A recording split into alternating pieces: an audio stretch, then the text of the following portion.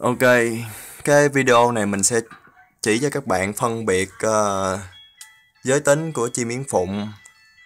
Um, lúc mà chim yến phụng còn nhỏ thì ờ, rất là khó phân biệt uh, cái giới tính, nhưng mà khi lớn lên rồi thì uh, rất là dễ.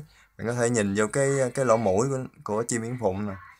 Nếu mà cái lỗ mũi màu xanh dương á là chim trống còn cái lỗ mũi màu hồng là chim mái.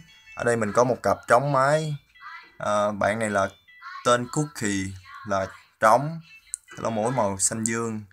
Còn cái bạn này là tên là pie à, là mái. Cái lỗ mũi là hơi hồng hồng. Um,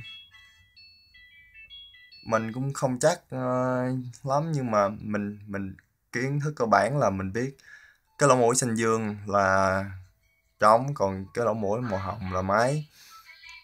Cái bạn pie này á là còn còn nhỏ, nên là cái màu của lỗ mũi vẫn đang chuyển. Mình không có xác định được chắc chắn là boy hay girl nữa, là trai hay gái nữa. Nên nên là các bạn à, cứ nhớ như vậy nha.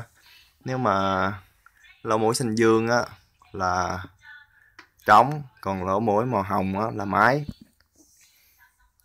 Cảm ơn các bạn đã theo dõi. Nếu các bạn uh, có câu hỏi nào thì hãy comment bên dưới. Um, nếu các bạn thích thì like.